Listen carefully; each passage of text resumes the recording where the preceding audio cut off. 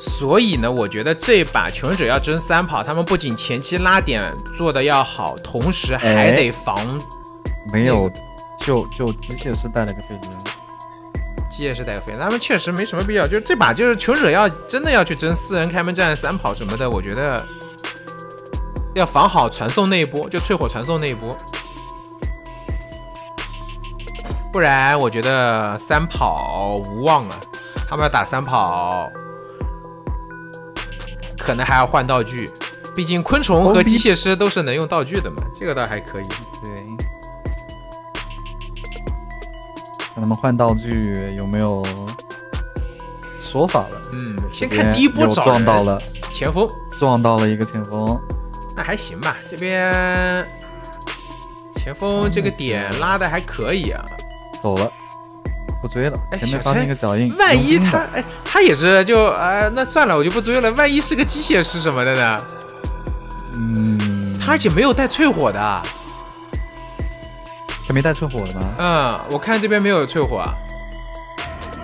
哎哎，这个开局节奏有点怎么说？就他他这个点没有排的很很很深啊。看到娃娃了，看到娃娃了。哦，他自己先打娃娃，然后再传你。不着急，呃，这倒也可以。那看一下，他应该在算那个传送，没有？哎，这怎么又回去了？怎么又回来了？他这边通过娃娃的闪现，闪现，闪现，闪现，他不是传送哦，不是传送哦，是个闪现啊。我们分析了半天，分析了半天，我还在想他打完娃娃然后传本，两个人都没有去看他的技能，他那开局技能读秒，我这看不清楚。我倒是没有去看，因为我默认，我觉得我分析的很有道理，我就觉得自己是对的，然后我就没有去留意。那机械师这边飞轮，哎，一刀飞轮漂亮，哇！我觉得他刚刚那里，如如果是我的话，我刚刚直接闪现 A 他一刀，不过可能会被飞轮躲。求稳，求稳，求稳，求稳，还行吧。张玉健这波操作蛮秀的，对你别说这个开局，我觉得求生者有机会啊，咬住。因为这个击倒时间，好像娃娃补出想回头盖板，一台机子是可以的，是机子是够的，只要能够救下来，卡半救下来，第一波搏命套上，第二波前锋撞救搏命套上，我觉得机子是够的，这个机子是够的，后面的话就看换道具了，真有机会四人开门战。就按我的理解，你们。他们打比赛肯定用最稳的一个打法天赋去打，但是他们很多刚刚好几场，但是他们都没有去带一个比较稳的一个天赋。这就是每个人有不同的理解嘛。还有一点就是，可能他们选择的是他最舒服的打法，因为阶师不用溜啊。阶师结果就是他们他们都没有想法，都没有按他的按照他们的剧本。对，结果好像就没有按照那个所想。就好几把，你看带闪现、张狂啥的都没有打出一个开局节奏，都被求生者拉点，然后还被溜，本来就有一个飞轮，就抓的很难受，开局没给机会。哎呦，现在的话，其实机子真的够啊，这边要提前拦住，能拦得住吗？波波这边拿球了，而且波波这波球拉的拉的好的一个点在于什么呢？他拉的好一点，他没有往椅子旁边拉。隔窗刀，沉默。这里你觉得能恐惧吗？我觉得恐惧不了，他没有猫，他他猫线处于 CD 期，就很难补一个撞。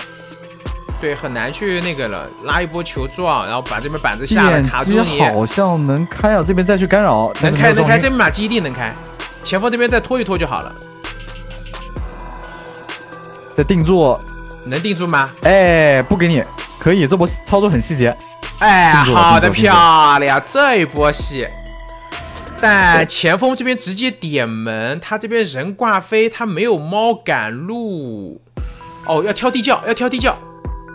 那边两个队友还开不了。对，队友门还没开。他们在，他们难道在防他的传送吗？刚刚两两个人不敢点门，好像。因为他这边好像是不是没有翻过窗啊？封窗是不是没漏过啊？好像是这么一回事。但这个距离前锋有三分之一的球，边上还过去一个虫子。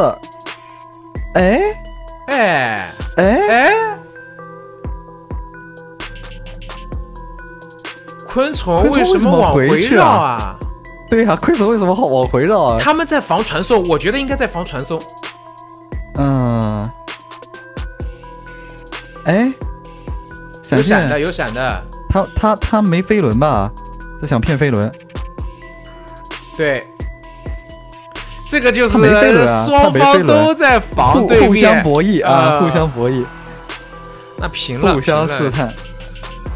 这个局平的还是蛮可惜的，因为嗯我们上帝视角来看是知道，但他们那个应该不知道，因为小陈在追击过程当中好像没有任何的翻窗，他交互都很少。对。不过那个刚刚不管是抓前锋抓重美，应该都是平局，应该都是平局。嗯他抓前锋不一定，因为前锋还有三分。之一的球，前锋那波如果直接拉球，我觉得他两波跳不一定跟得上，两波跳加一个闪，嗯，要看他跳的好不好，就这个距离拉的够不够近，跳得上，应该跳得上吧？跳的距离，跳的距离加上一个三分之一球闪的距离拉不了多远，三分之一的球也就拉一个跳的距离吧。嗯，三分之一一个半跳吧，就看它中间那个跳是不是直线，因为你跳它这个东西被有可能被卡住的嘛。当然，因为这张地图比较空旷，大概率是能跳得上。